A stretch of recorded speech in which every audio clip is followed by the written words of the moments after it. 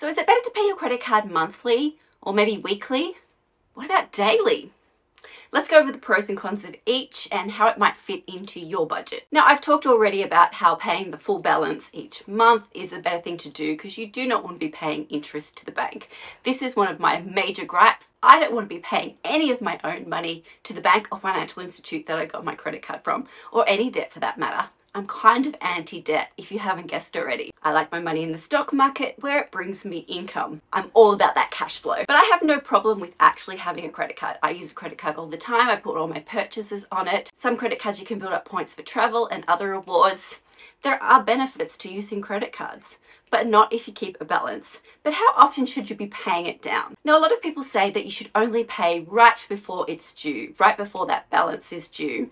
Uh, that way you're keeping your own money and you can build interest on that money perhaps before you actually pay it off to the bank. And there's a lot of benefits to that, especially if you get paid monthly. It just makes things easier. But paying it more regularly can be more beneficial too, especially if you're trying to build a better credit score. Now, credit score isn't a major concern for most Australians.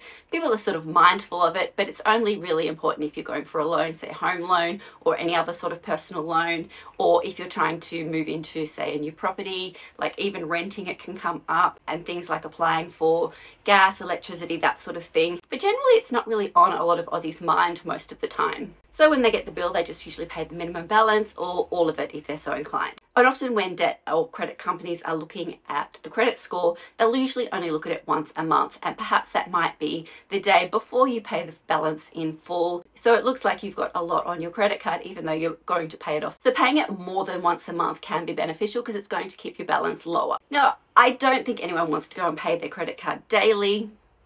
That just seems like a lot of work to me, unless you set up some sort of automation, but but even then, that sounds kind of overkill. There is a method called the 15-3 that's gaining popularity. That's where you pay 15 days before the balance is due and then three days before it's due. So you're paying twice a month. Now, the benefits to this and the benefits of why I pay weekly is that you're constantly bringing down that balance. Now, I pay my credit card each week. I do it weekly because I find that just works really well for my routine. So on a Monday, usually I'll go in and I usually just check my budget, make sure my spending is on track, just make sure everything looks okay. And it's just an easy time for me to go and pay the credit card because I'm usually already in my banking app. And the benefit of this is that it's keeping my balance low. And the other benefit of having a low balance is that it kind of is less stressful. I find that anyway for myself that when I start accumulating a quite high balance on my credit card, even though I know that I'm going to pay it off at the end of the month, even though I do it weekly, that high balance starts to stress me out a little bit. So keeping the balance low